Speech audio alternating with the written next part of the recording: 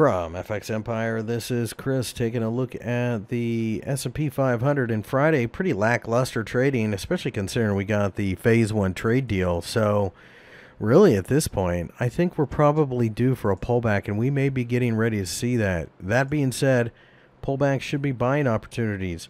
I have no interest in short, shorting this market. This is a market that has been far too uh, bullish to try to get cute uh, at this point. So uh, the 50-day EMA should offer plenty of support, 3100 uh, as well as 3000.